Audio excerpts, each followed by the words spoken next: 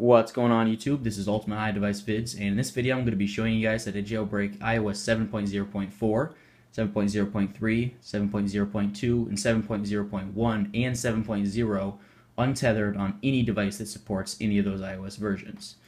So this is my iPhone 5s right here. I'm going to be jailbreaking it in this video and it is running iOS 7.0.4 and I'll show you guys in settings, general, and about.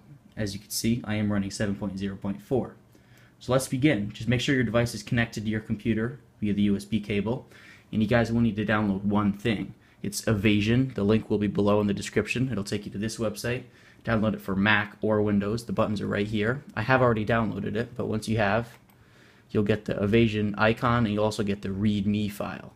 First thing you want to do is just double click on the Evasion icon, select Allow, and right here, all you have to do is press the jailbreak button. So go ahead and do that and just be patient. And after a few minutes, you will see the Evasion 7 icon on your home screen. Do not touch it, just be patient. And your screen will go blank and you'll, you will get this loading wheel. That's completely normal. And once your device reboots, don't unlock it, just continue to wait. And on your computer, once it does say to continue, unlock your device and tap the new Evasion 7 icon, you could do that. So slide to unlock and then just find the Evasion 7 icon and tap it once.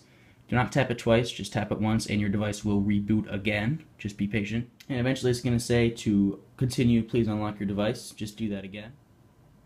And it will reboot after you do unlock it. And then it's going to say done. Now just keep your device connected and wait for it to completely finish up the process until you're back onto your lock screen. And eventually you're, you're going to get this logo on your device. And once your device reboots, just slide to unlock. And then slide over on your home screen, and there is Cydia. So go ahead and open it up. And the first time you do open it, it will have to prepare its file system, so just be patient. And eventually you guys will be back on the Apple logo like this, just for a few seconds. And again here, just slide to unlock. And then slide over and open Cydia again.